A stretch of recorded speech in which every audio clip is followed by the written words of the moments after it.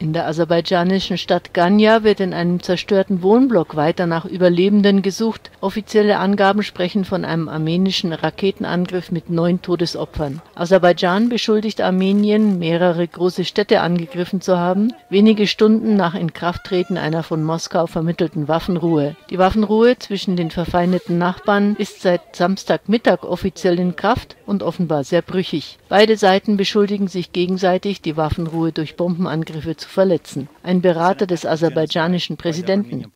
Es ist ein Völkermord der armenischen politischen Führung gegen das aserbaidschanische Volk. Es gab einen humanitären Waffenstillstand, aber am nächsten Tag griffen armenische Streitkräfte mit Raketen einen dicht besiedelten Teil der Stadt Ganya in Aserbaidschan an. Das ist ein Kriegsverbrechen, ein Militärverbrechen und zeigt auch noch einmal die Scheinheiligkeit der armenischen Friedensgespräche.